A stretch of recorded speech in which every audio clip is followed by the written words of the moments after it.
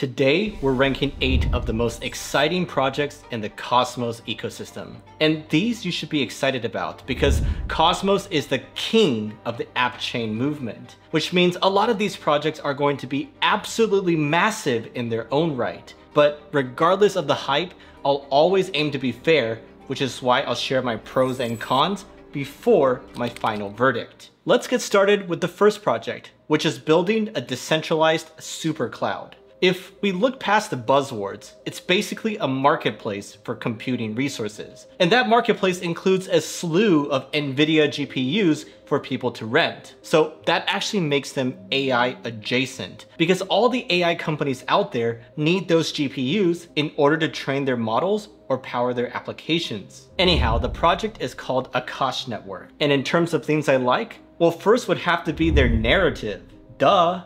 Akash sits at the intersection of two of the hottest narratives in all of crypto, AI and DePIN. By now we know how powerful narratives are, so since Akash can claim them both, this is extremely bullish for them. But besides that, another thing I like about Akash is its tokenomics. All their tokens are unlocked, which means that we don't have to worry about getting diluted in the future, which is quite amazing. But before you get too excited, there are some things I dislike as well. For example, Akash's usage is extremely low, producing mostly empty blocks on their network. And this is a problem because without enough usage, they can't build the network effects needed to become a useful marketplace. So this suggests that Akash doesn't deserve its billion plus valuation, at least from a fundamental level. But even if we ignore that, another massive concern is the competition that it faces. You see, Akash has to compete with the likes of Amazon and Microsoft, who also have their own cloud computing services. These are companies with unlimited resources, so trying to compete with them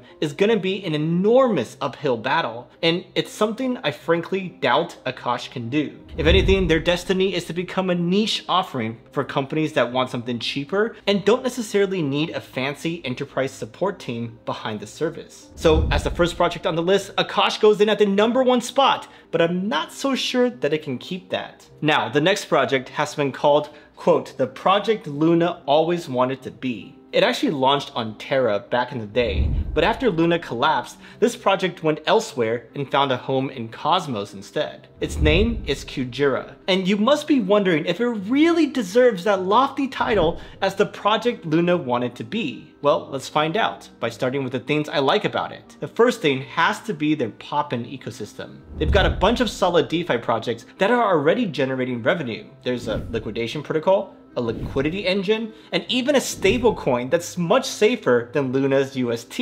But I think the best part about all this is that 98% of the fees generated by these products are shared with Kuji stakers, giving people an enticing reason to buy and hold. And speaking of Kuji, I like its tokenomics too. All its tokens are in circulation and over 50% of them are staked, so that indicates a healthy network. But I think what impresses me the most may be their market cap to TVL ratio, especially as it compares to its top rival, Injective. Injective is a great project of course, but Kujira's TVLs is a staggering 8 times higher than Injective's, while its market cap is almost 10 times lower. This is mind-blowing, and it suggests that a repricing could be in store for Kujira. Anyhow, let's not get too carried away as there are some things to dislike as well. First of which is their staking rewards. Their APY is actually quite low, with some people even describing it as practically zero. It seems that most people are staking for airdrops rather than yield.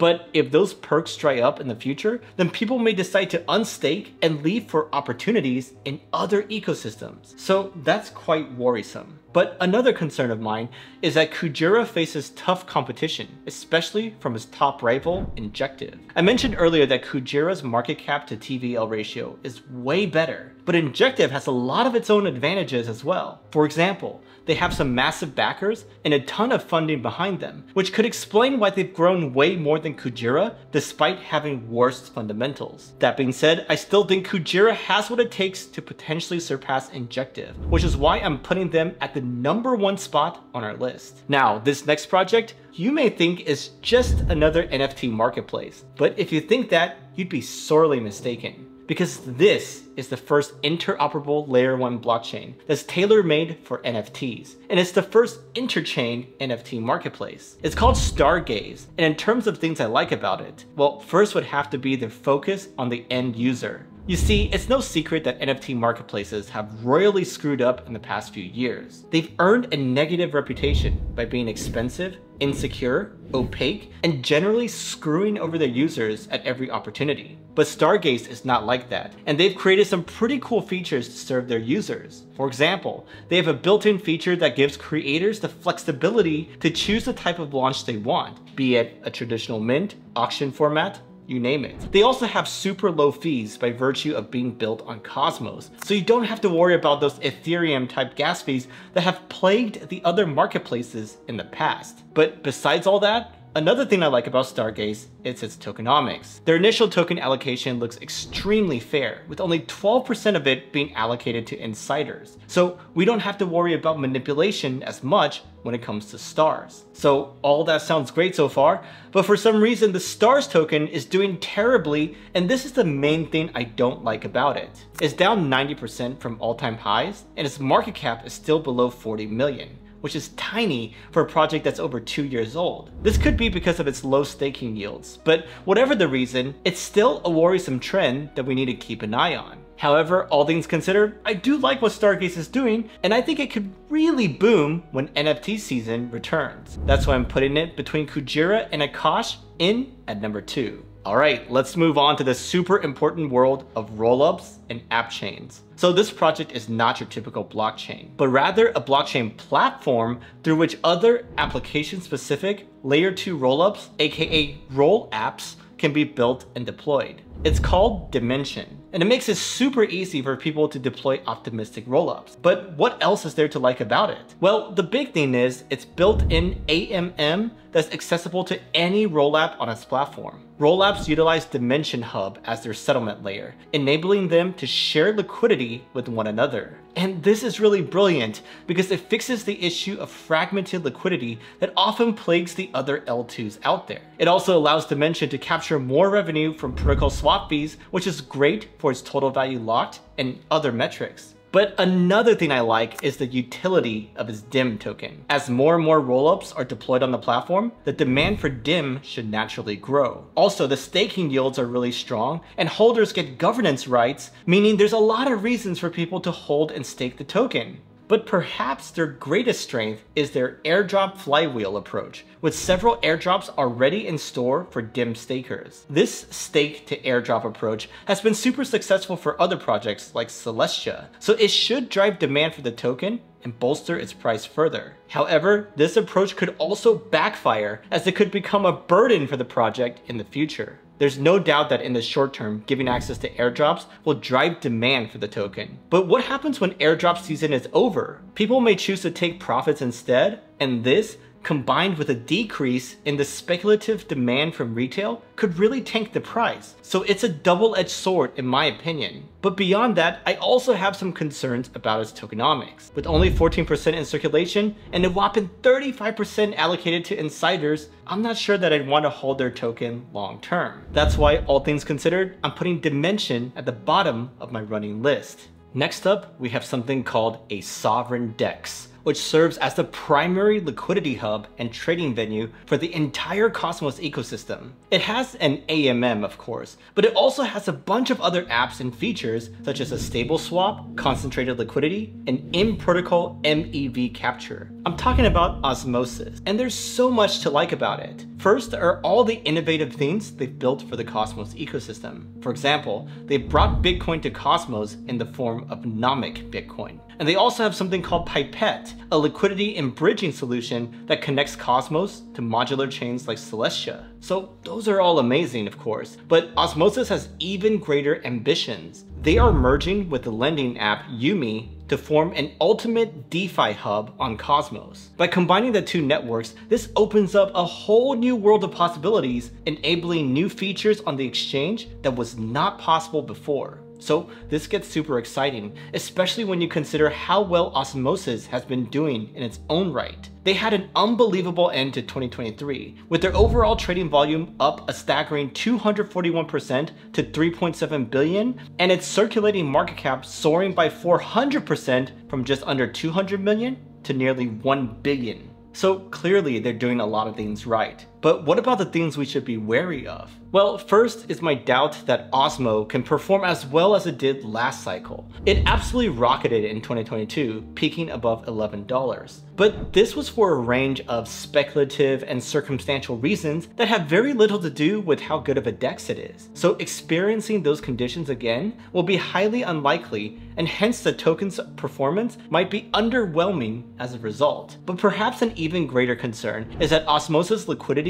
relies on rewards. By incentivizing pools with Osmo, it leaves itself quite vulnerable. If the rewards decrease, so does the liquidity, and that makes me nervous as an investor. That being said, the sheer amount of positives do outweigh the negatives, which is why I'm putting it as the new number two, just below Kujira. Alright, as a content creator, I really like what this next project is doing. It's a peer-to-peer -peer network that empowers creators and communities to mint, manage, distribute, and monetize their media assets. It's called OmniFlix. In terms of what I like about it, well first is how diverse and user-friendly its suite of products are. It has a studio, marketplace, a governance slash staking dashboard, a content publishing portal, and much more. If we look at the OmniFlix Studio, its interface is amazing as it combines NFT creation slash management with broader media and community engagement tools. Also, there's a ton of stuff supported on there, including video, audio, image, and text. Focusing on their video part for a second, we can see some real potential as it has over 600 videos on there already. This is amazing to see in a space where adoption is often lacking. For example, when we look at videos on Open Theta, a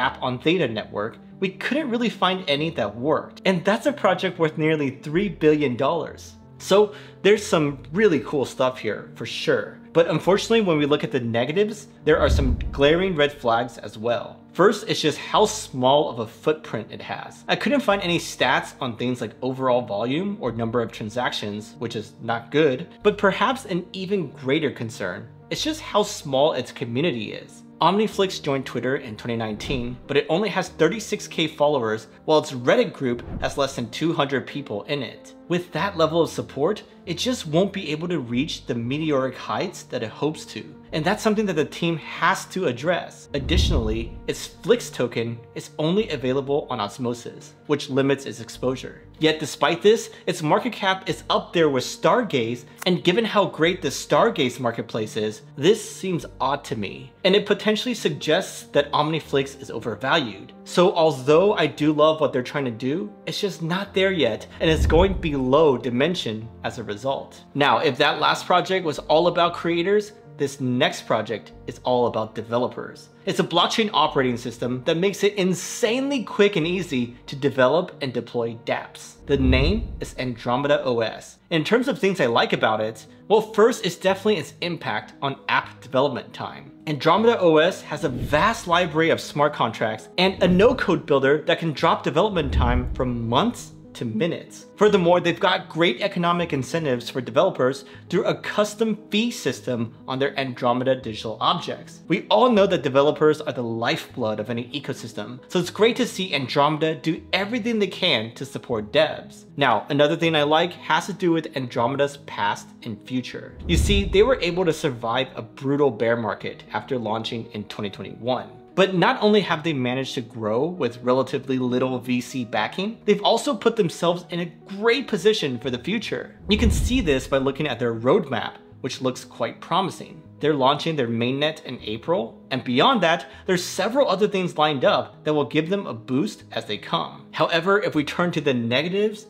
I do have one big concern, which is that it just doesn't seem that friendly or suitable for most investors. For starters, over 40% of their tokens are allocated to insiders, and there hasn't been any incentivized airdrop as well. To make things worse, this project doesn't really have a narrative that most people can latch onto. Unlike GameFi or DeFi, there are no interactive elements for people to get on board with, and this could really hurt their ability to capture the attention of retail investors. So although I think it's great for developers, I also see its glaring limitation, which is why I'm putting it as a new number 4 just below Stargaze. Now, our next project is poised to take advantage of the app chain trend, which is taking the crypto world by storm. This project is the only blockchain that is designed to support integrated apps, which combine the power of app chains with the scalability of smart contracts. If you didn't know, it's called Neutron, and in terms of things to like about it, well, first we gotta start with this Neutron token. Transaction fees make up Neutron's main source of revenue, with 25% of the fees going to the Cosmos hub, while the remaining 75% is burnt or sent to the reserve. This token burning mechanism makes Neutron deflationary and is amazing for both the community and the investors. But another thing I like is its replicated security mechanism, which gives it the same level of security as the formidable Cosmos hub, and that makes it much safer than most other smart contract platforms platforms out there. Also, as a bonus, they have close ties to Lido, which explains why they've been able to bring Lido's staked ETH to Cosmos through Neutron. So all this explains why Neutron's ecosystem has been booming lately, with its top DEX, Astroport, growing its TVL from 26 million in October to over 100 million today. But wait, surely there must be some downside for Neutron, right? Well, unfortunately, there is. And the first one is the fact that Neutron is so early in its journey. Clearly, it has a lot going for it, but when we look closer at its ecosystem, it's actually still quite small. And it's not just competition from other ecosystems that Neutron has to worry about. It also has to look within the Cosmos ecosystem to its fierce rival Osmosis. And when I say fierce, I do mean fierce, with some people even calling it an all-out war. The charge against Neutron is that it's simply riding the coattails of Osmosis, with accusations that its new product Nexus is simply a fork of Osmosis. So this is not a good look. And if it turns out that they're actually at war, then Neutron is clearly losing. Osmosis is nearly three times the size of Neutron and has much deeper liquidity, which puts it in a commanding position for now. But all things considered, I still think Neutron has great potential and is truly Cosmos aligned, which is why I'm putting it at the number three spot. Well, there you have it, my final Cosmos ecosystem rankings. But what I'm wondering is, would you personally move anything around? If so, let me know in the comments below, and if you haven't watched our Avalanche ecosystem video, then you can do so right here.